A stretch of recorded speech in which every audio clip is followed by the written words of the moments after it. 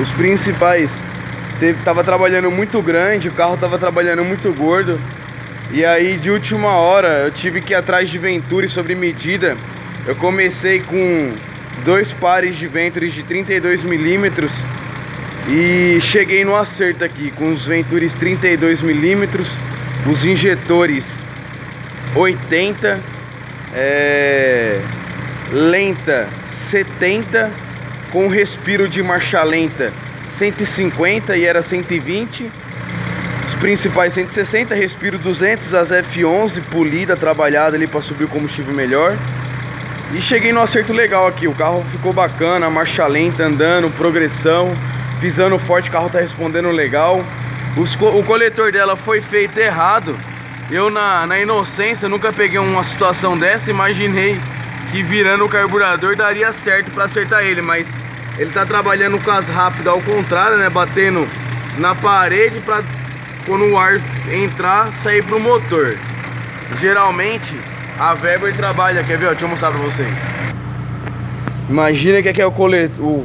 Imagina não, aqui é um coletor e o cabeçote tá aqui e os... acelera assim, tá vendo? Ó?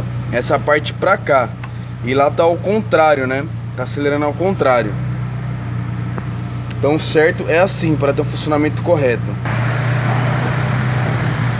E aqui nesse Opala maravilhoso aqui, fiz, montaram o coletor, soldaram uma, uma flange em cima do coletor original, só que é o contrário, acelerando por aqui, né? Aceleração bruta, hein, pessoal? E é nítido, hein? A Weber 48 de progressão é violenta, hein? O carro tem que saber sair, porque qualquer pisadinha, o carro já, dá, já quer sair bruto, saí muito forte. Então eu consegui aqui acertar com os Ventures menor, com os Ventures dela sem chance, não deu, não deu conversa. E, e é isso aí, cheguei no acerto legal aqui com a Weber 48, falta montar aqui agora os parafusos que tava até 100 que eu tava ajustando, comparando o nível de boia, enfim. O carro usa bomba elétrica. Mas graças a Deus deu certo, o carro ficou muito legal.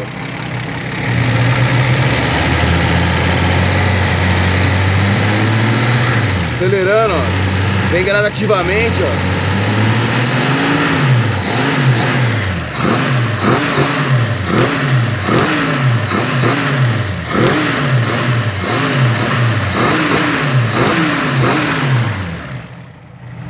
E é bruto, hein? Nossa, o carro andando.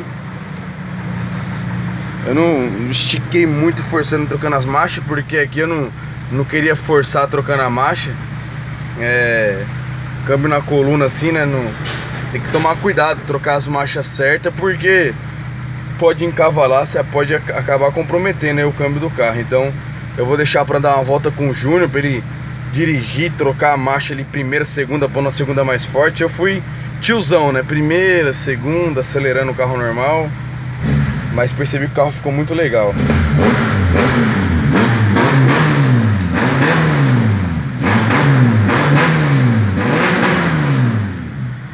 Uma rajada, hein? Acelerou, sai da frente, o palão sai empurrando tudo.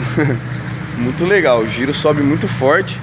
Ele não sabe como é que tá esse motor, ele pegou o carro agora. Ele falou que o rapaz passou para ele que o motor é original, é um 6 cilindro original.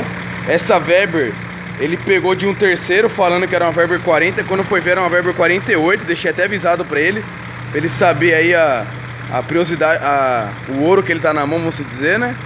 Uma Weber 48, futuramente ele colocando um comando, fazendo um cabeçote, ele já tá com carburador aí top para qualquer preparação que ele fizer aí. E é isso aí. Deu um pouquinho de trabalho, não pude acompanhar, mostrar para vocês, devido aos serviços aqui da oficina, o pessoal vindo aqui, eu tendo que acertar o carro dele, ele já tá agoniado, tá pouco tempo o carro e não conseguia andar. E eu vendo o negócio ali não dando certo, tive que correr aqui pra dar uma solução. Onde coloquei os Venturis 32, acertei giclagem e cheguei no acerto no palão aqui.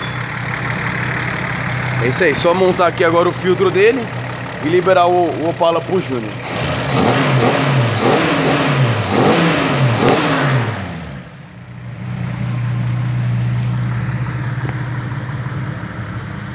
Muito bonito o carro, nossa. Tá lindo esse Opala. Desse modelo que veio aqui na oficina até hoje, esse aqui foi um dos mais bonitos, hein? O carro tá perfeito, alinhado, a pintura top. É isso aí, pessoal. Vou desligar aqui porque a bateria tá indo pro saco já. Abração a todos aí, falou.